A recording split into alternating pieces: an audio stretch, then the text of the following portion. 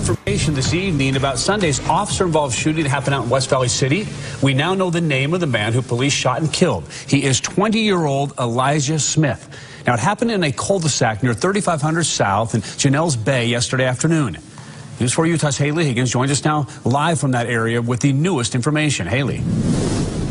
Yesterday's deadly shooting has traumatized this otherwise quiet neighborhood with some homeowners even considering relocating. Terrified. I was terrified. Neighbors holding their families close after Smith was shot and killed by West Valley police. Investigators say he forced his way into this house with three children home alone Sunday afternoon. They range in age from 9 to 13. I can't imagine what and their poor kids, what they're feeling, what they're going through. Yeah, terrifying.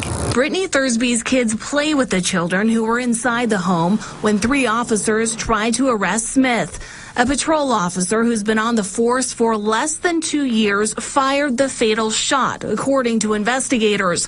Before entering this home, police say Smith tried to get into another one. That homeowner didn't want to speak publicly, but told News 4 Utah the man ran off when confronted by her husband and son.